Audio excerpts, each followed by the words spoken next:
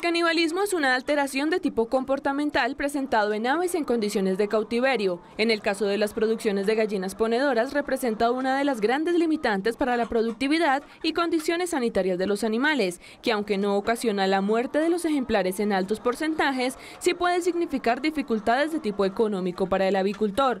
Si usted ha notado comportamientos agresivos entre los ejemplares de su galpón y presencia de aves con lesiones cutáneas, tenga especial cuidado porque su explotación puede estar atravesando por un episodio de canibalismo. El canibalismo tiene varios factores, ¿sí? Uno es por el acceso al alimento o al agua.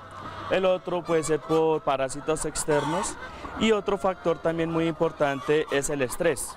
¿sí? De pronto mucha carga en, un metro cuadrado. Aquí se manejan 8, 8.5 por metro cuadrado el cual pues está bien manejada, tiene espacio suficiente. En este caso pues el canibalismo se presenta en las aves que están aún más débiles, más flacas, las más pequeñas y pues como tratamiento como tal es descartar estas aves, ya llegan a desplumarse totalmente y pues por esta razón hay lesiones, heridas por el cual pues se pueden infectar y pueden producir una sepsis y la muerte del ave.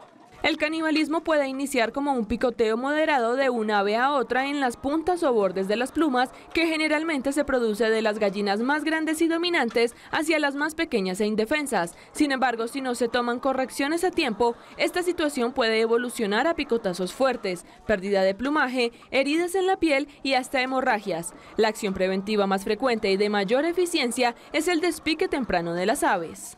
Hay unas productoras que la despican al primer día de nacidas, hay otras productoras que las despican en la semana 14 o 16.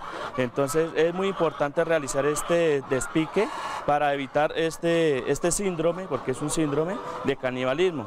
Y pues evitar pues lesiones más graves como sacas en un ojo, lesiones más en la parte trasera del ave la principal causa por la que se presenta el canibalismo y picoteo en un galpón de gallinas es el estrés, ocasionado por diferentes factores.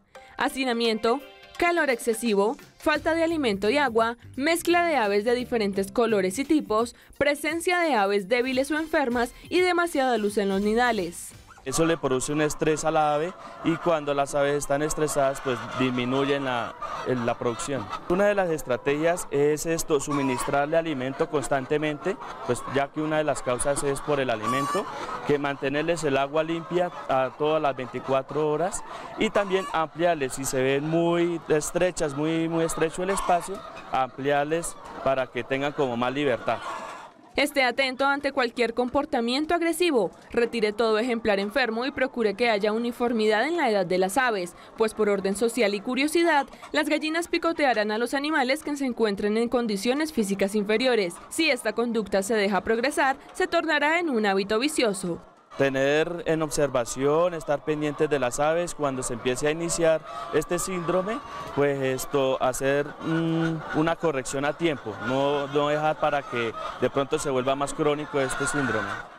Establezca un nido por cada cinco gallinas como máximo. En lo posible, una vez al día, brinde un tiempo de pastoreo a las aves para disminuir los niveles de estrés. No use lámparas de luz blanca de más de 25 watts y no ilumine por más de 16 horas. Además, haga un control de parásitos externos. Estas medidas le ayudarán a tener aves tranquilas y evitar el síndrome de canibalismo.